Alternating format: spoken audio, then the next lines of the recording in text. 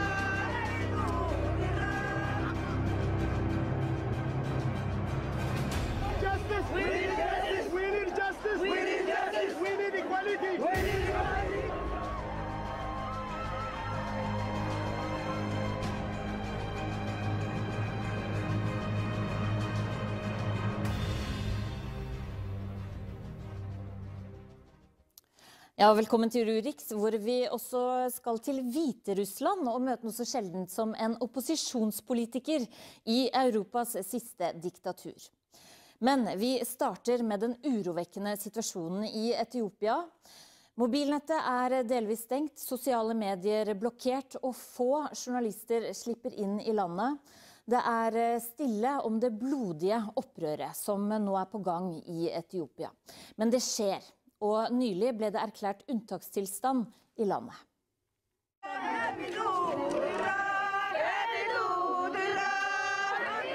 De er samla til festival.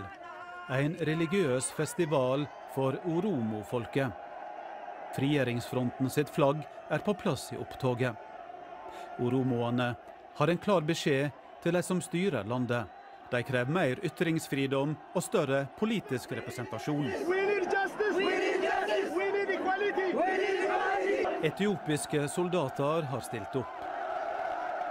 Styresmaktene mener at frigjøringsfronten er en terrororganisasjon. Varselskudd og tåregass. Og et komplett kaos oppstår. Folk prøver desperat å komme seg unna. Mange detter ned i dype grøfter. Langt fra alle greier å komme seg opp. 50 mennesker mister livet denne dagen, ifølge styresmaktene i regionen.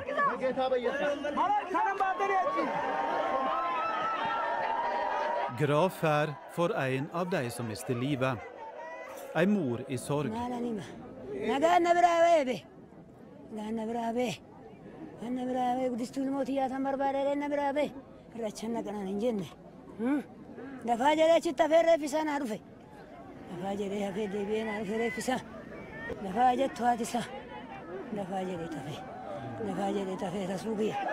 Det er ett år siden uroa starta. Først fredelig, men styresmaktene slo hardt tilbake. Mer enn 500 mennesker er drepne under demonstrasjonene, ifølge menneskerettsgrupper og aktivister.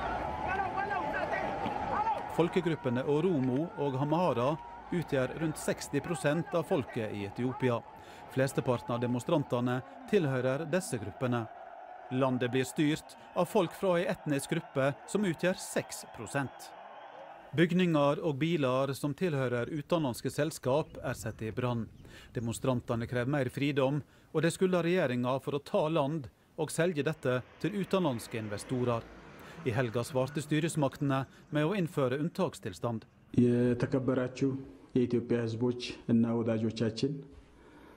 ዛሬ በፊታችሁ የቀረብኩት የኢትዮጵያ ፌዴራላዊ ዲሞክራሲያዊ ሪፐብሊክ መንግስት የሚኒስትሮች ምክር ቤት በወቅታዊ የሀገራችን ሁኔታ ላይ ግምገማ ካካሄደ በኋላ Representanten for oromo-folket liker dårlig det han hører. It is uh, shocking news and uh, a very sad news to all of us. Uh, we have been expecting that the government is uh, really started to think twice uh, and open up the political space. Religious leaders, academics, ordinary citizens are asking for restraint, asking for national dialogue. But the government is responding in the usual ways. The usual way is um, use of more force, repression, Angela Merkel er på rundreise Afrika. I dag kom hun til den etiopiske hovedstaden og hadde en klar beskjed etter å ha møtt statsministeren. Hun ba styresmaktene tillate demonstrasjoner og å ta med opposisjonsgrupper i den politiske prosessen i landet. Demokrati, äh, der Opposition, es bedarf einer freien Medienlandschaft. Man muss die unterschiedlichen Sichtweisen austragen können und es ist ein ganz natürlicher wenn die Armut ähm, ein Stück weit auch bekämpft ist, wenn die Menschen besser gebildet sind, dann wollen sie sich ausdrücken, dann wollen sie ihre Vorstellung vom Land einbringen. Und wir dürfen ja nicht vergessen, in Äthiopien ist die Hälfte der Menschen äh, sind junge Menschen. Ja, Det er altså unntakstilstand etter nesten et år med demonstrasjoner mot myndighetene. Etiopia har over 90 ulike etniske grupper. De to største er oromoene og amharene. De utgjør om lag 60% av befolkningen og befinner seg her, på kartet markert i rødt. Mange flykter bl.a. over grensa til Kenya, og noen kommer til verdens største flyktningleir i Dadaab. Og der er du, kollega Sverre Tom Radøy. Du er med oss på en litt dårlig linje fra Dadaab. Kan du si noe om hvem det er som kommer? Det er nok de fattigste av de fattigste og de som virkelig trenger mest eh, hjelp. For de som har litt ressurser, de drar nok inn til eh, Nairobi, de som har bekjentskaper og kontakter. Men det er altså en del fra oromofolket som er i denne verdens største eh, flyktningleir. De føler seg som en minoritet blant flyktningene og sier at de blir dårlig behandlet enn somalierne, som det finnes nesten 300 000 av akkurat her. Myndighetene i eh, Etiopia langer ut mot Egypt og Eritrea og mener det er de som står bak det opprøret som nå skjer. Er det hold i det? Jeg har ikke sett eh, noen som har støttet dette synet. Det går jo an å forstå at Eritrea ikke akkurat eh, er lei seg for at det kan være bråk i Addis Abeba. Hovedfienden er jo Etiopia. Men jeg har ikke funnet noe hold for dette noe steder. Sverre Tom, denne gigantiske flyktningleiren i Dadaab hvor du er nå, den skal stenges i løpet av året. Hva skal skje med de tusenvis av flyktningene som er der? Nei, de skal hjem. 300 eh, 000 flyktninger og vel så det skal hjem, ifølge kenyanske myndigheter, som sier at de utgjør en sikkerhetsrisiko. Og de tenker jo da på det store flertallet av somaliske flyktninger som er her. Det er krig og sult i nabolandet Somalia. Mange flykter til Kenya, og veldig mange er her. Eh, mange føler at de blir nå eh, truet til å dra ved at eh, myndighetene sier at man ikke kan garantere hva som skjer etter at tidsfristen, som egentlig er 1.12. eller 30.11, går ut. Så her er det stor eh, skepsis til hva som skal skje i fremtiden, og stor usikkerhet, og dermed fare for sosial uro i verdens største leir. Og Hva tenker så oromo-folket i eh, Dadaab om at de nå kanskje tvinges tilbake til Etiopia? Jeg har snakket med noen av dem, og alle er veldig redde for eh, fremtiden. De håper at eh, Kenyatta, kommer til, presidenten, kommer til å fire på kravet om at eh, de må dra tilbake raskt. Det er jo Flyktninghjelpen, Human Rights Watch og Amnesty som sier at dette kan ikke skje. De kan ikke stenge denne leiren så fort. Og oromofolket de er ikke minst redde for hva som skal skje når de da kanskje må dra tilbake. Jeg snakket med en kvinne. Hun uh, snakket åpent inntil intervjuet var over. Så sa hun nei, men dere kan ikke vise ansiktet mitt, da blir jeg drept. Så hun skjulte seg, og dette var hva hun sa. So why are you a refugee?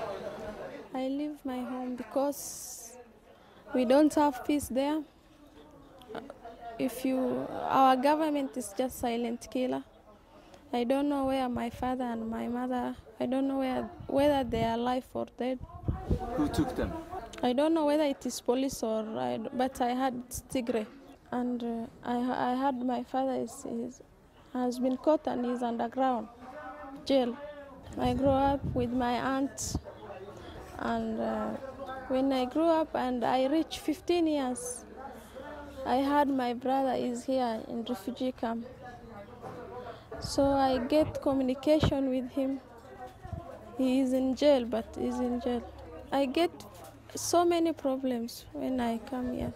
So many things that I can't explain. How is the situation there now? When about one week ago, I heard there is a demonstration up to now.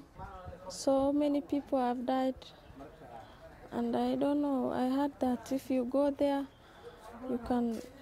You are if they had you come from Kenya, they say you judge our government and they kill you. Even the Oromo people, they want to get into parliament. So you know our country belongs to Oromo, and these people they are taken by force. Yesterday, your government uh, told the international community that it was Eritrea and Egypt who was to blame for the demonstrations. There's nothing like that. They are the government who disturbing our country. How does the government treat you? We every now and then we hear somebody has been taken, and when they have been taken, you can't see them again. They just disappear like that. I rather die here instead of going back to Ethiopia. Gerald Folkvår i Amnesty Norge, velkommen til Urix. Takk. Det sies i reportasjen her vår regjering er stille mordere. Hvordan ser du på situasjonen?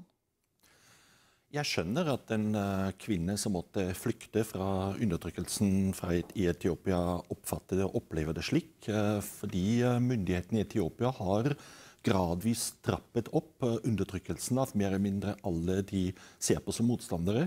Og de bruker ganske brutale verktøy. De bruker forsvinninger, tortur, utenomrettslige drap og ikke minst veldig sånn omfattende antiterrorbestemmelser for å knuse sine motstandere. Menneskerettighetsorganisasjoner mener jo at 500 mennesker er drept bare det siste året. Hva vet vi om det som har skjedd?